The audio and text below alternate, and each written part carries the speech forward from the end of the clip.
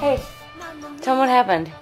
Oh, um, yesterday I chipped my tooth by biting into a piece of bread. So now we're gonna do a Dumb and Dumber photo shoot.